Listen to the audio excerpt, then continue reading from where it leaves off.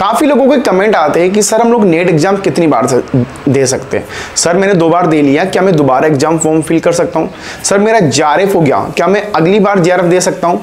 तो दोस्तों, ये सारे जो डाउट है, वो आज आपके इस वीडियो में क्लियर होने वाले तो वीडियो पूरा एंड तक देखना, काफ़ी कुछ सीखने को मिलेगा। Hello friend and welcome to fielder form my name is Jitendra Goswami और आपका स्वागत है फिल्डर फॉर्म में।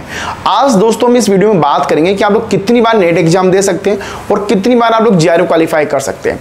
क्या आपको अगर दो तीन बार जे क्वालिफाई किया तो आपको ज़्यादा अमाउंट मिलेगा या बिल्कुल भी नहीं मिलेगा। ये सारे क्वेश्चन आपको हम लोग यहाँ पर क्लियर करेंगे। दोस्तों यूजीसी नेट एग्ज़ाम 2023 का नया बेच स्टार्ट हो गया है। आप लोग ज्वाइन कर सकते हो। ज्वाइन करना काफ़ी आसान है। बस आपको चैनल को सब्सक्राइब करना है और वीडियो को लाइक कर देना व्हाट्सअप ग्रुप ज्वाइन करना है, जिसका लिंक मैंने मैंशन कर दिया है। अब बात करते हैं यहाँ पर, दोस्तों, सबसे पहले नेट एग्ज़ाम की। दोस्तों नेट एग्ज़ाम आप लोग कितनी बार भी दे सकते हो, क्योंकि यहाँ पर कोई एज लिमिट नहीं होती है।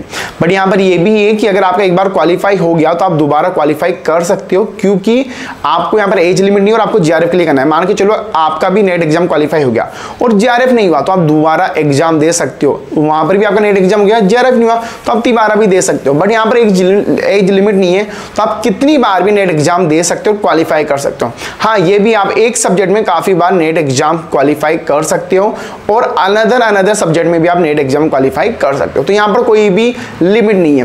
बट अगर मैं बात करूँ दोस्तों, यहाँ पर जीआरएफ की तो जीआरएफ में यहाँ पर लिमिट आती है। सबसे पहली जो लिमिट है वो है एज लिमिट आपकी एज जब क्रॉस हो जाती है, उसके बाद आप जीआरएफ का लिए अप्लाई नहीं कर सकते। और अगर आपका एक सब्जेक्ट में एक बार जीआरएफ हो गया तो आप दोबारा उस सब्जेक्ट में जीआरएफ क्वालिफाई नहीं कर सकते। हाँ ये ज़रूर है कि अगर दोस्तों आपका जैसे हिंदी में जीआरएफ हो गया तो आप कॉमर्स में जीआरएफ के लिए अप्लाई कर सकते हो। मतलब दो सब्जेक्ट में दोबारा आप लोग जीआरएफ ले सकते हो बट एक सब्जेक्ट में आपको जीआरएफ एक बार ही लेना है। अब दोस्तों, आपको बस एक काम करना है, आपको आपको मुझे कमेंट बॉक्स में बताना है कि आपका प्लान क्या है। आप लोग का, आप लोगों ने कितनी बार एग्ज़ाम दे लिया है और किस किस का नेट और जेआर क्वालिफाई हुआ है, एक बार कमेंट बॉक्स में कमेंट कीजिए। और अगर दोस्तों वीडियो अच्छा लगा तो वीडियो को लाइक कीजिए चैनल को सब्सक्राइब कीजिए। Thank you so much for watching this video have a nice day take care